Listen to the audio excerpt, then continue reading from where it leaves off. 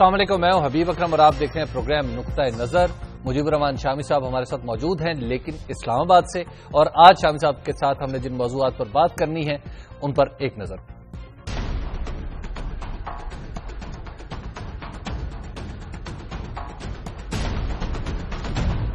हुकूमती और तालिबान कमेटियों के दरमियान मुजाकरात का बाकायदा आगाज़।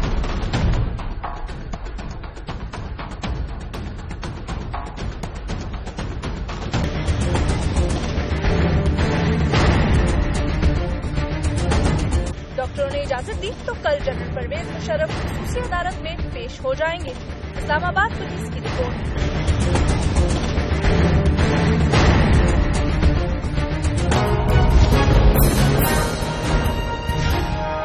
आला अदलिया के जजों पर दोहरी शहरियत की पाबंदी नहीं है। अदालत उजमा का फुल कोर्ट इजलास के बाद अलामिया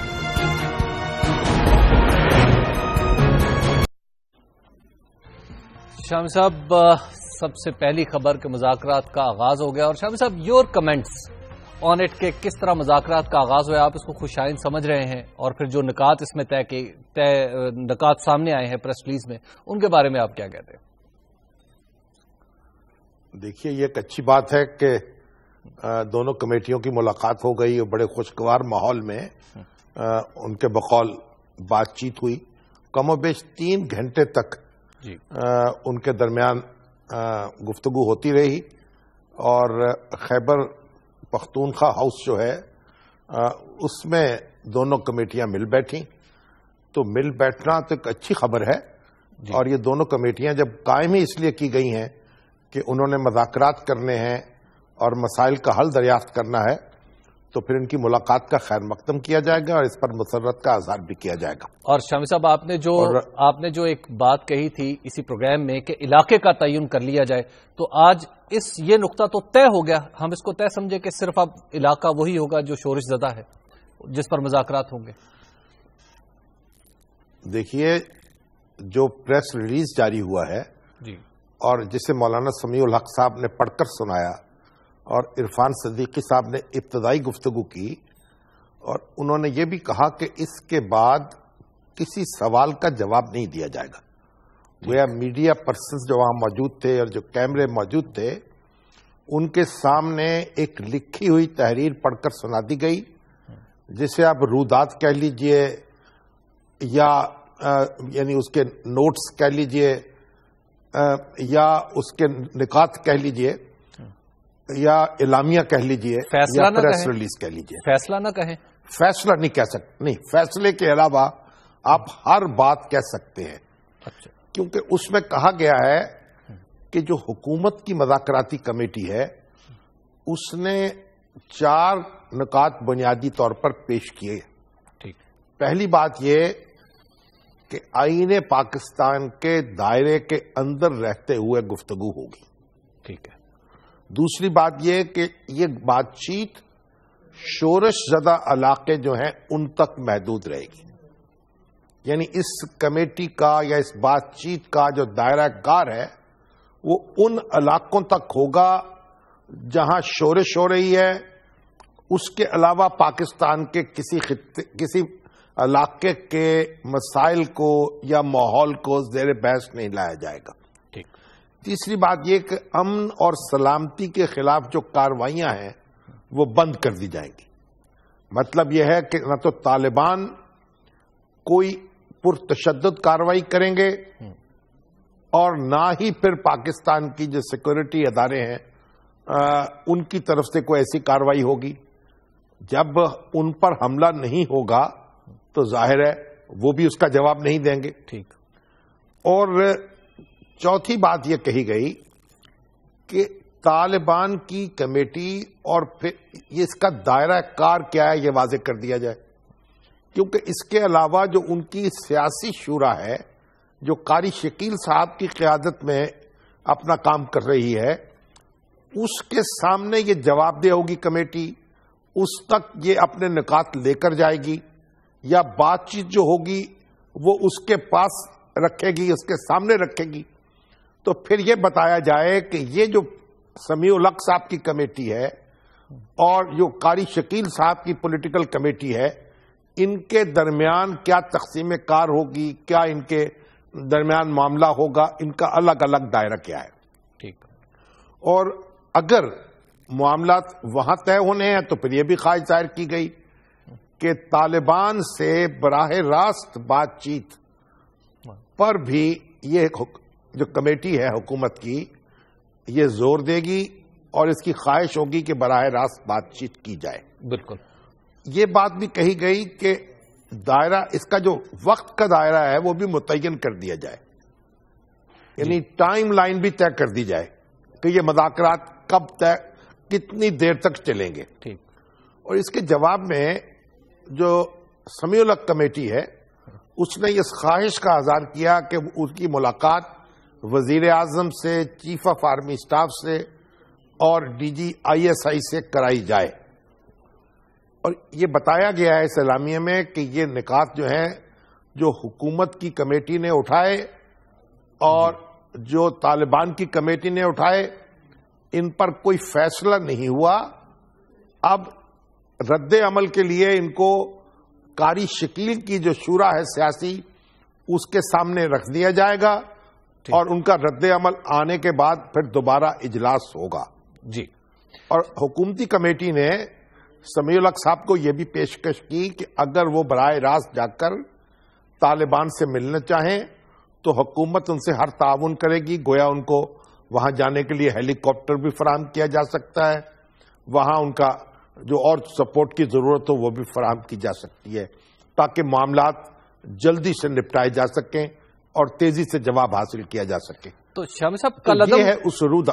जो तालिबान तहरीक तालिबान पाकिस्तान को कलदम करार दिया जा चुका है इस ये पाबंदी हटाने की भी तो बात हुई कि इस पाबंदी को हटा दिया जाए ताकि तालिबान खुलकर बात कर लें। ये देखिए 2008 में ये पाबंदी लगी है। जी। अब इसको छह साल हो गए हैं। 2007 में ये तहरीक तालिबान पाकिस्तान कायम हुई थी। इसमें कुछ चौदह पंद्रह जमातें जो हैं मुख्तलिफ़ छोटी बड़ी अ, वो शामिल थी। ये उनकी एक अम्ब्रेला ऑर्गेनाइजेशन थी और बैतुल्ला महसूद इसकी क्यादत कर रहे थे। ठीक। अब ये छह साल इसने पाबंदी के दौरान गुजारे हैं। जी। और पाबंदी पाबंदी ये भी है यानी पाबंदी कानून जो है ये कहता है कि जो कल अदम तंजीमें हैं उनकी कोई खबर उस तरह नहीं छप सकती उनकी सरगर्मियाँ रिपोर्ट नहीं की जा सकती उनके किसी तर्जमान को मीडिया एक्सेस फराहम नहीं की जा सकती। लेकिन आपको भी मालूम है कि ये पाबंदी जो है इस पर अमल नहीं हो रहा और मीडिया में जो तर्जमान है तालिबान के वो गुफ्तगु भी करते हैं उनका नुकता नज़र भी आता है। शामी साहब लिहाज से ये जो पाबंदी है। शामी साहब यहाँ ब्रेक का वक्त आ गया है। ब्रेक के बाद हम गुफ्तगु यहीं से आगे बढ़ाएँगे। आप देखते रहिए नुकता नज़र।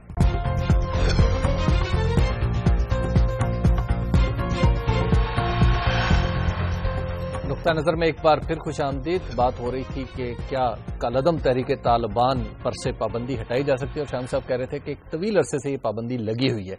जी शाम साहब सर आप बता रहे थे। जी। मैं ये अर्ज़ कर रहा था कि पाबंदी अमलन नाफिज नहीं हुई। ठीक।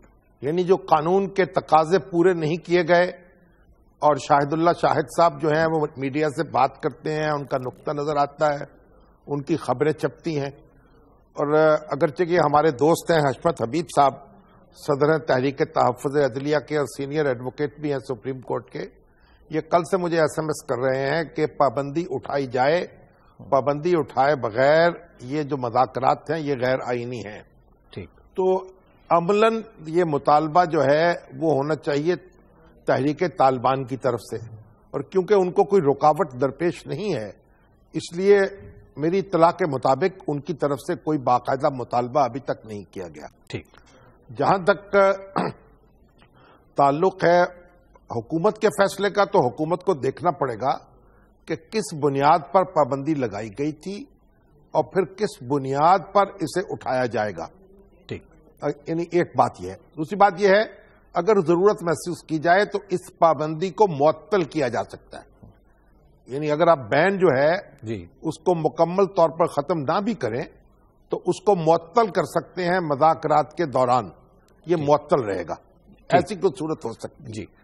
बहरहाल तो मैं ये अर्ज़ कर रहा था कि ये हमारे जो इरफान सदीकी साहब हैं और समीउल हक साहब हैं और जो दूसरे लोग वहाँ मौजूद थे उन्होंने किसी भी सवाल का जवाब देने से गुरेज किया और कहा हम कोई सवाल नहीं लेंगे और जवाब नहीं देंगे।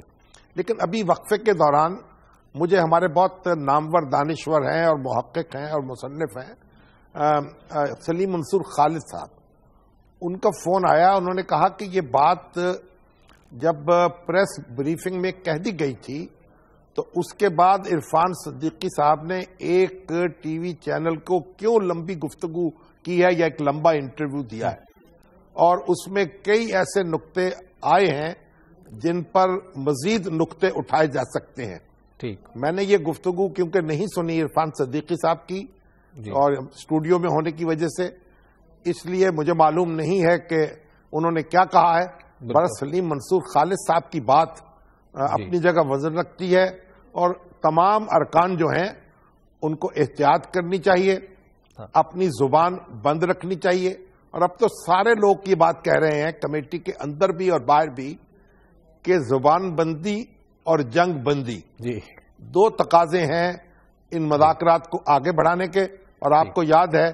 हमने अपने इस प्रोग्राम में बिल्कुल। कई दिन पहले इस इन्हीं इसी पर मौजू पर गुफ्तगु की थी और यही खिदमत में अर्ज़ कर दिया था हाँ। अपने माशाल्लाह सियासी माहरीन के और दानश्वरों के और कराम की खिदमत में। अच्छा शामी साहब अभी आप जैसे बता रहे हैं कि ये प्रेस रिलीज़ है एलामिया है या रूदाद है अब जब ये मामला ये जो नकात हैं टू एंड फ्रो चलते रहेंगे तालिबान कमेटी में और रियल तालिबान में तो ये फिर ताखीर तो मुसलसल होती चली जाएगी हम इसके लिए कोई औकात कार तो मुतन नहीं कर सकते। नहीं उन्होंने ये मुतालबा किया है हुकूमत की तरफ़ से कि इसके कोई औकात कार तय कर दिए जाए। जी। अब देखिए तालिबान की तरफ़ से इसका क्या जवाब आता है। वैसे हमारे जलाल खान साहब हैं उन्होंने जिमखाना लाहौर से मुझे अभी मैसेज किया है।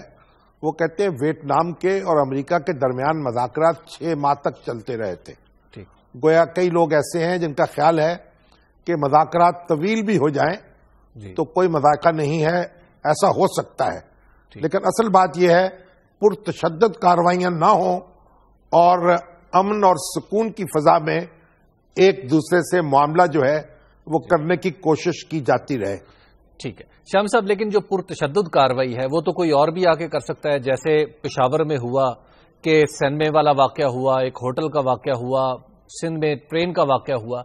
अब इस तरह के वाकत से वो कहते तो हैं हमारी कोई हमारा कोई हाथ नहीं है इसमें लेकिन क्या ये बात मानी जा सकती है? देखिए तहरीक तालिबान पाकिस्तान जो है उसकी तरफ़ से बड़ी मकरू वारदातों की ज़िम्मेदारी कबूल की जाती रही है माजी में। ठीक है। ऐसी वारदातें जिन पर कोई शख्स जो है स्वाद नहीं कर सकता या उनसे इतफाक नहीं कर सकता। तो अब जब ऐसी वारदातों की वो ज़िम्मेदारी कबूल करते रहे हैं और अब इनकार कर रहे हैं तो उनके इनकार को भी कोई वज़न तो देना होगा ना कोई इसकी हैसियत भी तो होगी। और जब मुख्तलिफ़ ग्रोह मुल्क में काम कर रहे हैं तो उनका भी पीछा करना पड़ेगा। अब ज़रूरी बात यह है कि ये जो मजाकरात करने वाले लोग हैं यानी हुकूमत और तहरीक तालिबान पाकिस्तान दोनों मिलकर फिर उन लोगों का सुराग लगाएँ और उन लोगों की कार्रवाइयाँ रोकें। वगरना ऐसे सवाल पैदा होंगे खा हम चाहें या ना चाहें जो फिर इन मजाकरात को मुतासर कर सकते हैं। मुझसे कई लोगों ने यह कहा जी कि अगर तहरीक तालिबान पाकिस्तान के अलावा भी बाज अनासर ऐसे हैं जो अमन को खराब कर सकते हैं जी। तो फिर सारी गुफ्तगु का मरकज जो है ये टीटीपी को क्यों बनाया जाए? बिल्कुल। फिर उन लोगों से क्यों ना मजाकरात किए जाए? तरह तरह की बातें हो सकती हैं। फिर फरीकैन पर लाजिम है कि वो उन लोगों को रोकें उनका हाथ रोकें उनका सुराग लगाएँ और उनको कानून के हवाले करें। जी। श्याम साहब हमारे इन मजाकरात में एक बात हो रही है कि बार बार हुकूमती कमेटी के बारे में भी कहा जा रहा है कि हुकूमती कमेटी क्या जो कह रही है वो कर सकती है। इसको हुकूमत की सपोर्ट और फौज की सपोर्ट किस हद तक हासिल है। क्या अब ये क्वेश्चंस अब खत्म हो गए? देखिए अब हुकूमत को और फौज को अलग अलग करके देखने का मामला जो है उसे खत्म करना चाहिए। जी। जब दस्तूर के ताबे एक हुकूमत कायम है और ज़िम्मेदारी उठा रही है तो फिर हमें उसी से तवक्को रखनी होगी कि वो अफवाज पाकिस्तान को और उनके अदारों को अपने साथ रखेगी। और ये तो फिर हुकूमत की जो हिकमत है आ, उस पर मुनहसर है। बिल्कुल। चीफ ऑफ़ आर्मी स्टाफ को या D G I S I को मुस्तकिल बिजात फरीक तस्वर करके जी। उनसे बातचीत नहीं की जा सकती। ठीक। ये ये जो हुकूमत है जो वज़ीर आज़म है जी। वो चीफ एग्जेक्टिव हैं। और जब उनसे गुफ्तगु हो रही है तो इसका मतलब यह है कि सबसे गुफ्तगु हो रही है। जी। बाकी उसके मामला तय करना उनकी ज़िम्मेदारी है। ठीक। और जहाँ तक तालिबान का ताल्लुक है भरा ये तो आप याद देंगे उनको कि उन्होंने एक जहानत के साथ एक कमेटी दूसरी खड़ी कर दी है जी। और अपने और हुकूमती कमेटी के दरमियान एक दीवार खड़ी की है। अब हो सकता है कहना तो चाहिए था मजाकराती कमेटी को कि वो मुल- मुल्ला फजरुल्ला से मुलाकात करेंगे। क्योंकि अमीर तो वो हैं टीटीपी के। और वो कहाँ हैं? बैरून मुल्क हैं मुल्क के अंदर हैं। यानी अगर वज़ीर आज़म से मुलाकात करनी है समीउल कमेटी ने जी। तो फिर इरफान सदीकी साहब की कमेटी जो है उन्हें मुल्ला फजरुल्ला से कम तो नहीं रुकना चाहिए। ठीक। लेकिन हमारा ये दोनों कमेटी मामला है वो किससे मिलते हैं किससे मिलना चाहते हैं किससे नहीं मिल पाते हैं। असल बात यह है कि हमें तो आ, हमें तो देना है सब्सटेंस पे तवज्जो देनी है। अगर वो कोई नतीजा निकाल सके तो बहुत अच्छी बात है। अगर ऐसा ना हो सके तो फिर जो भी लवाजमात पूरे कर लें मामला तो खराब होगा। जी। शहब साहब एक ब्रेक का वक्त आ गया। ब्रेक के बाद हम दोबारा अपने नाजरीन की खिदमत में हाजिर होते हैं। आप देखते रहिए नुकता नज़र।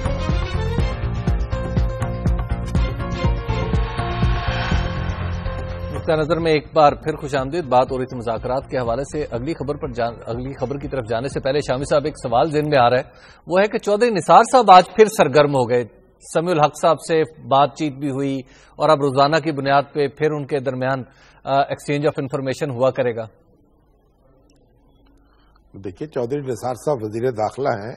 जी। उनको आप रोक तो नहीं सकते। ज़िम्मेदारी तो उनकी भी है ना अमन अमान और समीउल हक साहब ज़ाहिर है कि जब चौधरी निसार अली खान साहब से रबता रखेंगे जी। तो फिर उनके बराबरी की शख्सियत समझे जाएँगे प्रोटोकॉल के एतबार से? तो अच्छा अब आप एक बात सुन लें। जी जी। मुझे एक तो नवाज़ मलिक साहब ने मैसेज भेजा है कि बीबीसी ने रिपोर्ट किया है अभी और उम्मीद का इजहार किया है मजाकरात के बारे में। ठीक। और ये अब्दुल शकूर साहब ने मैसेज भेजा है वो कहते हैं भाई इरफान सदीकी साहब जिस अदारे में कॉलम लिखते हैं उसी में तजिया पेश कर रहे थे तो इसलिए इसको इसी नुक्ता नज़र से सुना और देखा जाए। तो हमीदुद्दीन आवान साहब गुजरावाला से कहते हैं कि वाकई ये बात दुरुस्त है सलीम मंसूर खालिद साहब की और वो भी कह रहे हैं कि भाई इस तरह की जो गुफ्तगुएँ हैं और इंटरव्यूज़ हैं वो नहीं होने चाहिए। बहरहाल ये कमेटी के अरकान पर मुनसर है। हम कोई मार्शल्ला तो नहीं लगा सकते उन पर। उन्हें खुद ही अपनी ज़ुबान उनके बारे में फैसला करना होगा। जी। शम साहब अच्छा जलाल खान साहब कहते हैं उन्होंने मैसेज भेजा भाई मैंने छह माह नहीं कहा छह साल कहा था। अच्छा ठीक अमेरिका और वियतनाम के दरमियान छह साल मजाकरात जारी रहे थे। तो इसलिए परेशानी की ज़रूरत क्या है? छह साल लेकिन दिल को हाथ पड़ता है छह साल का सोच के। शम साहब अगर जंग बंदी हो जाए जी। तो फिर कोई मजाका नहीं है। बातचीत जारी रह जारी रह सकती है ज़्यादा देर तक श्याम साहब अगली खबर है जनरल परवेज मुशर्रफ साहब की पेशी के हवाले से एक स्पेकुलेशन चल रही है बल्कि आज तो एक रिपोर्टर बता रहे थे कि शर्तें लग रही हैं बेट्स लग रही हैं कि जनाब कल पेश होंगे या नहीं होंगे। नहीं उनके वकील ने तो कहा कि डॉक्टर्स जो है उनकी बल्कि उन्होंने खुद भी लिखता है शायद वारंट के ऊपर लिख दिया है कि डॉक्टर की इजाज़त से मशरूत है उनका पेश होना। ठीक। तो आप देखते हैं अभी तो आप देखिए कि एमकेएम के जेर असर जो सिविल सोसाइटी है जी। वो मुतहरक रही है आज। बिल्कुल। अ, कराची प्रेस क्लब के सामने भी इमरान खान साहब के बारे में मुजाहरा हुआ है कि वो मजाकरात में शरीक हों। साथ ही कहा गया है परवेज मुशर्रफ साहब को बैरून मुल्क भजवाया जाए। हाँ। इस्लामाबाद में भी एक हमारी सिविल सोसाइटी जो है उसने मुजाहरा किया है कि इनको बाहर भजवा दिया जाए। तो परवेज मुशर्रफ साहब के हक में कुछ न कुछ आवाज़ें तो बुलंद हो रही हैं। लेकिन उन आवाजों का हवाई जहाज़ नहीं बनाया जा सकता। ठीक। जिस पर बैठकर वो बैरून मुल्क चले जाएँगे। लेकिन सोशल मीडिया पे तो डॉक्टरों को सोशल मीडिया पे शामिल साहब सोल्जर्स भी हैं। Parvez general Parvez Musharraf soldiers. एक तंजीम है जो सोशल मीडिया पे काम कर रही है। ये जमहूरियत है। यहाँ हर शख्स को हक हासिल है अपनी राय रखने का। और सिपाही जिसका जो चाहे बन जाए हम उसे रोक तो नहीं सकते। पहले तो उनके लवर्स थे। जी। उनसे मोहब्बत करने वाले थे। अब उनके सिपाही बनने वाले हैं। ठीक। तो अच्छी बात है सिपाही बने लेकिन हथियार ना अपने पास रखें। ठीक। हथियार के बगैर सिपाही बने। जी। तो गोया फिर अगर बेट्स का जो रेट है वो बता रहा है कि कल जनरल परवेज मुशर्रफ साहब पेश नहीं हो रहे। वैसे ये जनरल परसेप्शन हाँ इम्कान तो यही लगता है कि पेश नहीं होंगे लेकिन नुकता क्या उठाया जाएगा ये कल देखेंगे। ठीक। और डॉक्टर अगर उनको कहते हैं कि आप न- नहीं जा सकते और ये उनके उनको अगर उनकी जुम्बश करेंगे कोई हरकत करेंगे तो उनका दिल मचल जाएगा। तो फिर और बात है। वैसे ये अजीब डॉक्टर है कि उनका इलाज भी नहीं कर पा रहे। उनको उठने भी नहीं दे रहे। जी। श्याम साहब, अगली खबर है और अगली खबर है अदलिया के बारे में और अदलिया से बड़ी देर बाद आज खबर आई है कि फुल कोर्ट आज एक इजलास हुआ है जिसमें बताया गया है कि हमारे पास, यानी सुप्रीम कोर्ट के किसी जज के पास दोहरी शरीयत नहीं है। और शामी साहब, ये भी बताया गया कि पाबंदी भी नहीं है, यानी दोहरी शरीयत रख भी सकते हैं। देखिए बात यह है कि सेनेट में एक करारदाद मंजूर हुई है। बिल्कुल। जिसमें यह कहा गया है कि जजों की शहरियत के बारे में भी इतला दी जाए कि किन किन अफराद के पास दोहरी शहरियत है। जी। तो फेडरल शरीयत कोर्ट के अलावा किसी कोर्ट से कोई जवाब नहीं आया था। ठीक। आज सुप्रीम कोर्ट ने यह जवाब दिया है अगर पूछा जाए कि किस जज के पास दोहरी शहरियत है तो उसका जवाब दे देना चाहिए। ठीक। तमाम हाई कोर्ट्स जो हैं उनके जजों के बारे में भी ये इतला लोगों को दे देनी चाहिए। मामला ये नहीं है कि पाबंदी है कि नहीं है। मामला ये है कि ये मालूम तो हो कि दोहरी शहरियत के हामलीन कितने हैं। और एक बात मैं अर्ज़ करूँ कि दोहरी शहरियत के हामलीन जो दस्तूर के मुताबिक इलेक्शन नहीं लड़ सकते मुंतखब अदारों में नहीं बैठ सकते लेकिन और तमाम कारोबार कर सकते हैं। ठीक। मगर जब ताहिरुल कादरी साहब सुप्रीम कोर्ट के सामने पेश हुए थे तो उनकी दोहरी शहरियत की बुनियाद पर जो उनकी गत बनाई गई थी वो भी सबने देखा था। बिल्कुल। और ताहिरुल कादरी साहब की कोई बात सुनने से ही इनकार कर दिया गया था। तो ये ये वो भी रवैया जो है सुप्रीम कोर्ट का मुनासिब नहीं था। ठीक। आम आदमी जो है जैसे कोई शख्स भी इंतखाब में हिस्सा तो नहीं ले सकता जो दोहरी शहरियत रखता हो। लेकिन दूसरे तमाम फराइज जो है वो बजा ला सकता है। तो उसमें फिर दोहरी शरीयत के हामलीन को मशकूक निगाह से क्यों देखा जाए? और अगर जजों के बारे में सवाल कर, किया जा रहा है तो सीधा बता दिया जाए कि फलां साहब के पास दोहरी शरीयत है फलां के पास नहीं है। लेकिन अगर कोई कानून साज अदारे कानून बनाना चाहे तो शौक पूरा कर ले। लेकिन ये मौजू ये नहीं है। शामी साहब एमएनए तो ना बन सके दोहरी शरीयत वाला जज बन जाए। ये दस्तूर कहता है ना आपका। ठीक। दस्तूर ने जज बनने पर सरकारी अफसर बनने पर मीडिया पर्सन बनने पर किसी अदारे में मुलाजमत करने पर कोई पाबंदी नहीं लगाई। ठीक। दोहरी शहरियत के हामलीन कोई भी काम कर सकते हैं कारोबार कर सकते हैं और किसी भी ओहदे को संभाल सकते हैं। मुंतखब नहीं हो सकते मुंतखब ऐवान में नहीं बैठ सकते। ठीक। ये दस्तूर कहता है, मैं नहीं कहता। शाम साहब ब्रेक ले लेते हैं। ब्रेक के बाद हम शामिल करेंगे अपने नाजरीन के सवाल फेसबुक के ज़रिए एसएमएस के ज़रिए और फ़ोन लाइन के ज़रिए। आप देखते रहिए नुक्ता नज़र।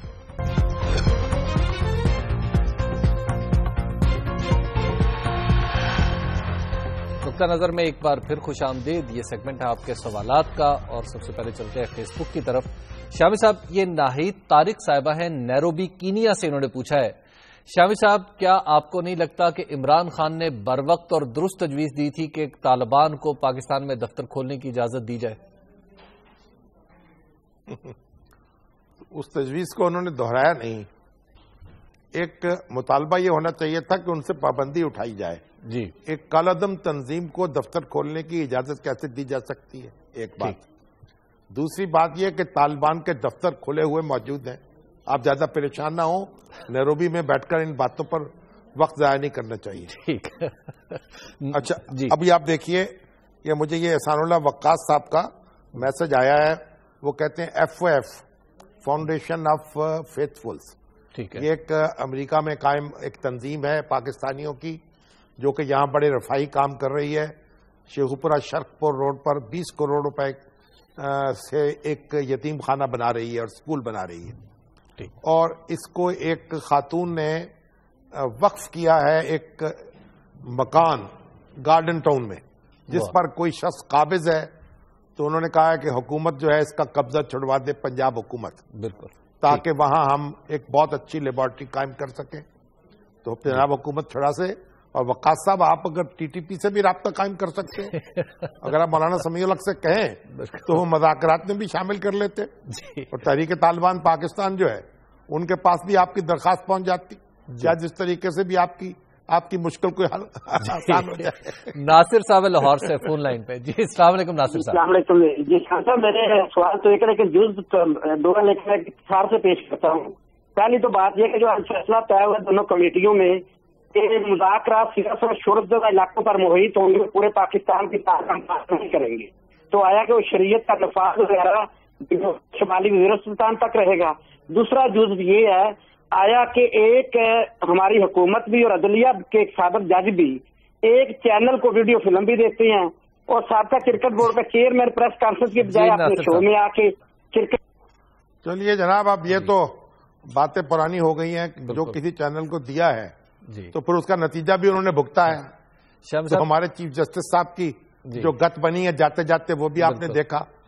लेकिन बहरहाल बात यह है कि आसमा रशीद साहिबा है। टीटीपी के पास पूरे पाकिस्तान का कोई मैंडेट नहीं है। जी। ये बात मैं मद्देनजर रखनी चाहिए। शामी साहब आसमा रशीद साहिबा है ये कह रही है शामी साहब डोंट यू थिंक के शोरशदा इलाकों से तो पूरा मुल्क भी पूरा मुल्क भी मुराद लिया जा सकता है?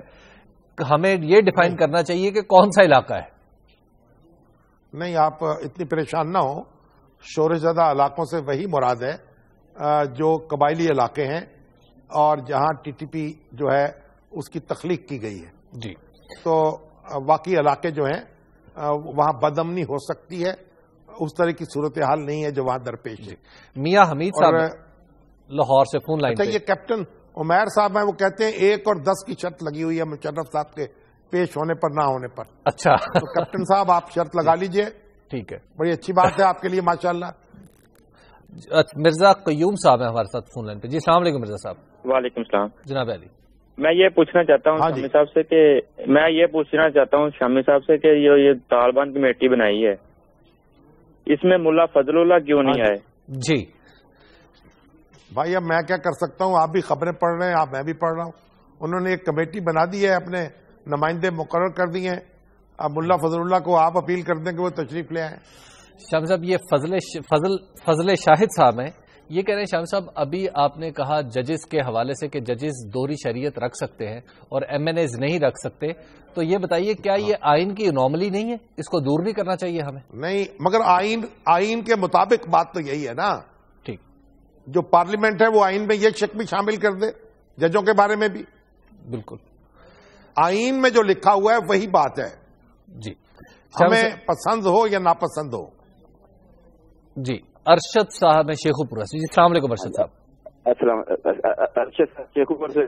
सर ये ना लाहौर से शेखु फैसलाबाद तक सर जो सड़क बनी है ना जी। वहाँ पाँच सात साल से पाँच टूल प्लाजे बने हुए हैं। और जी। उधर मुल्तान से लाहौर तक सिर्फ़ दो हैं सर।